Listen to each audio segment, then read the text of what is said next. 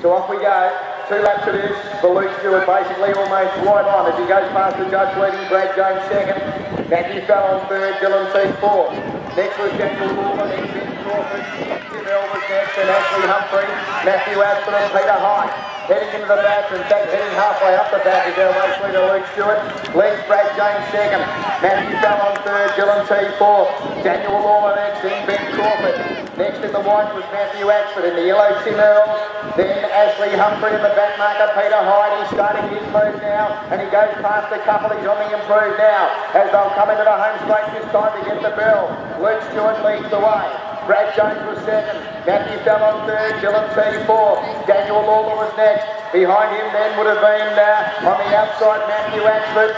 And uh, with him as well was Ben Crawford. Starting to work into it strongly now with Peter Hyde. Then Ashley Humphrey and back to Charles Hill. So Luke Stewart, he's about to head into the back, leading the way from Brad Jones second. Matthew Fallon third. Daniel Lawler fourth. Next was Matthew Ashford. Then Ben Crawford. Dylan T. Peter Hyde. And again Ashley Humphrey and back in the tail was Tim Earl off the back. Luke Stewart moved away. But Brad Jones has got him in sight. And Brad Jones is about to dash to the lead here at the 200 metre mark. Here comes the back marker with the big guns though. Peter Hyde in the red. He goes to third. And he's got Brad Jones and Luke Stewart in his sights.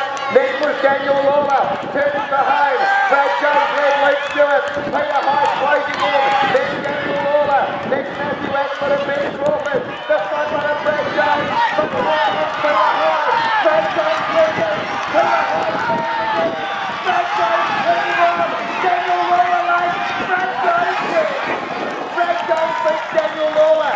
Peter Hyde third. Luke Stewart fourth. Then Dylan T. Ben Crawford. Matthew Ashford. Matthew Fallon. Ashley Humphrey. Tim Earl. And they've come from everywhere to celebrate with Brad Jones.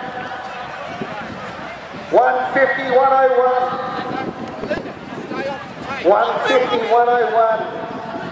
Brad Jones wins. Daniel Lawler has stormed home in the last 50 metres to get second. And Peter Hyde, he was there to win at the top of the home straight. And he just couldn't quite get to Brad Jones and then he couldn't hold off Daniel Lawler and has to settle for third. But a great run by the back Peter Hyde as well.